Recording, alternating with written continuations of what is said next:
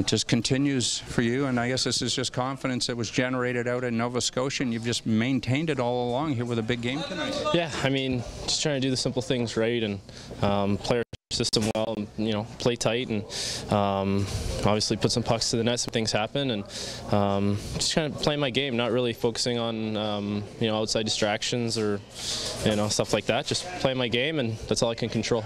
Yeah, you get uh, Mike Babcock back. Yeah, I mean, uh, you know, I think the, the coaches have done a great job while Babs has been gone. You know, everything's kind of running smooth, and um, you know, when Babs comes back, everything will, you know, return back to, you know, the way it is with Babs. So it's, um, you know, I'm sure he's excited to get back, and um, you know, everyone kind of wants to get going here.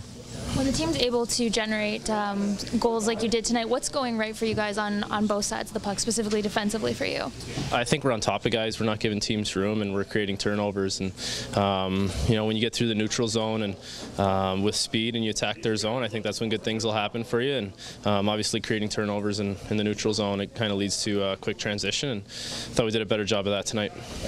Takes us back the seeing eye assist to Peter Holland. Uh, just get it on net, but obviously you were looking for his stick. Yeah, I mean, when you see a guy, you just kind of try and put it in his area, and you know, Holly's a skilled player. He gets a stick on it, and um, you know, Holly buries one in the back of the net, so two actually. So um, you know, it's just um, you know part of the process. Get pucks to the net and um, do your job, and that's part of it. How rewarding is it to uh, plus five on a night? Do you remember that? Uh, I don't know. It's been a while, but uh, I can remember one time in junior I was plus five. That's about it. Yeah. How rewarding was it to just allow one regulation goal against the past two nights? Yeah, I, I think that's good for us. Um, you know, we obviously uh, the night before we didn't allow any in regulation, and um, you know, obviously in Halifax we let in a bunch. So I think that's um, it's a good sign for us. I think we're uh, tightening up defensively a little bit, and um, you know, I think we can we can see that happening now.